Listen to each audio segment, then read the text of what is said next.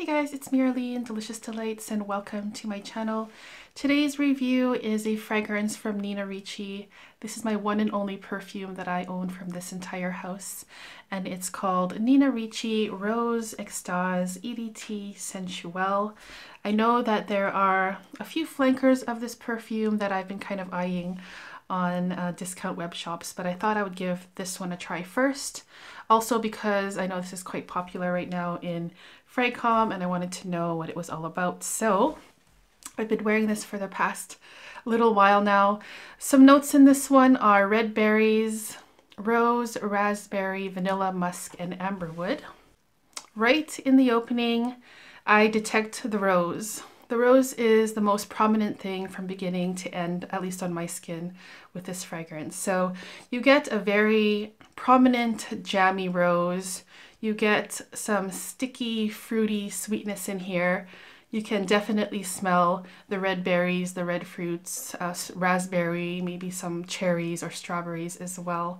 And so what I imagine when I wear this is a rose jam plus like a raspberry or strawberry jam mixed in together. And it is a very, very pleasant scent. It's delicious, but not something I would want to eat, if that makes sense. So it, is gourmand, but the floral rose in here makes me not want to eat it because the rose, as this fragrance dries down on my skin, it does get more powdery and musky on my skin. So it is still quite a delicious fragrance, just not in an edible kind of way. Hopefully that makes sense.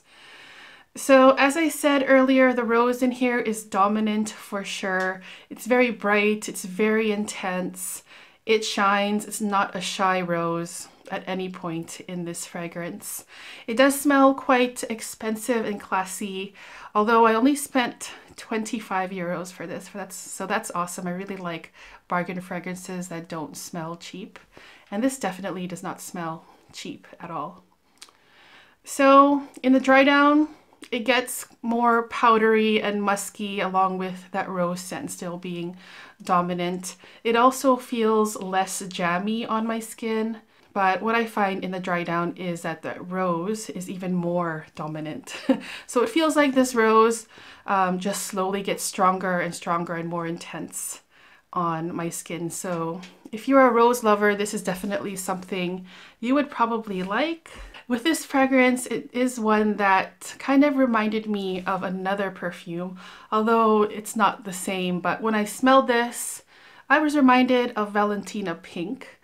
I did find that the Valentina Pink was sweeter than this one, um, but I did enjoy that one as well. But if I had to choose between the two, and I'll just say again that they don't smell exactly the same, they're not dupes of each other. But if I had to choose, I would probably choose uh, the Valentina Pink because it is sweeter and it was more delicious and less rosy.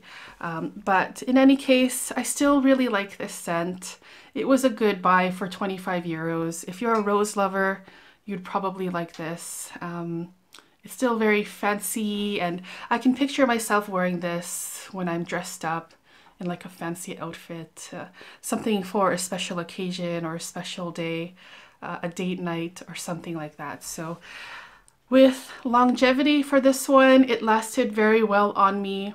I didn't really time it, but you know, it lasted, you know, for most of the day, so like six to eight hours. And yeah, I really, I do enjoy this scent. So those were my quick thoughts on Rose Extase EDT Sensuelle. I would love to hear your opinion on this fragrance if you've tried it, and also if you would recommend any other flankers of this.